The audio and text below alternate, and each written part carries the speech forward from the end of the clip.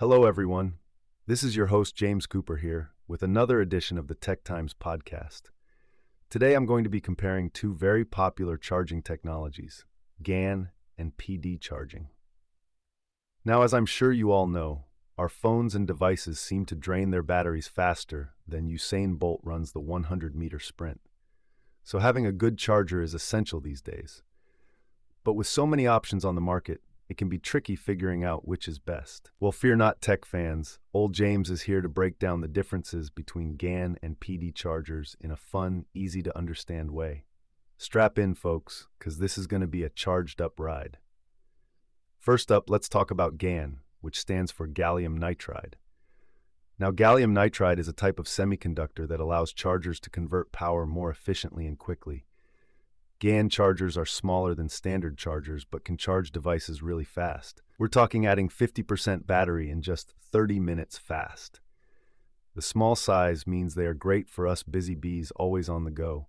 Just pop a GAN charger in your bag and you've got portable, speedy power wherever life takes you. They can also charge multiple devices at the same time without compromising speed. So if you and your friends all need a battery boost, GAN has got you covered. Now PD charging is power delivery to all you tech newbies out there.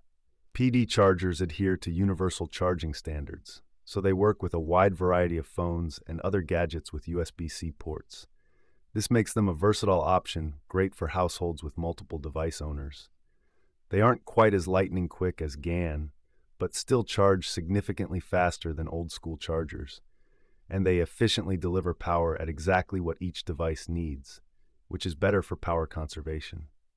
Overall, GAN chargers are the fastest option, but PD has the most compatibility. So it comes down to your priorities. Do you need heavyweight speed or versatile multi device functionality? Well, folks, I hope this helped shed some light on the GAN versus PD charging debate. Be sure to subscribe and stay tuned for more Tech Times updates coming your way.